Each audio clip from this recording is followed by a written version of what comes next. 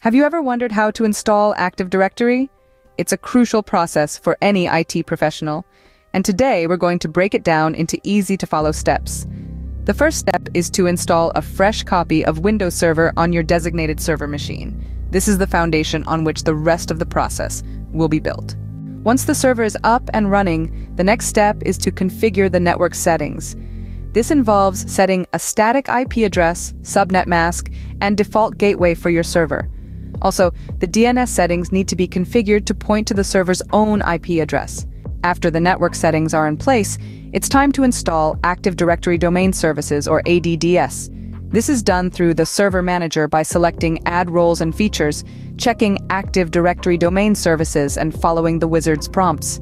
Next, the server needs to be promoted to a domain controller. After the ADDS installation, a notification will prompt you to promote this server to a domain controller. Here you'll add a new forest and enter the root domain name. Also, set the directory services restore mode password. Once the server has rebooted, log in using your domain admin credentials. Open Server Manager to verify the ADDS role is installed.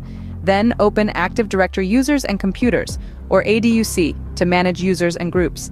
You can also open Active Directory Sites and Services, or ADSS, to manage sites and replication. Now it's time to configure the DNS. Open DNS Manager and verify the presence of the AD DNS zones. Ensure the server's DNS settings point to its own IP address and that the DNS server is reachable from client machines. Optionally, you may also want to configure group policy objects for security and management, install and configure DHCP if needed, and implement additional domain controllers for redundancy.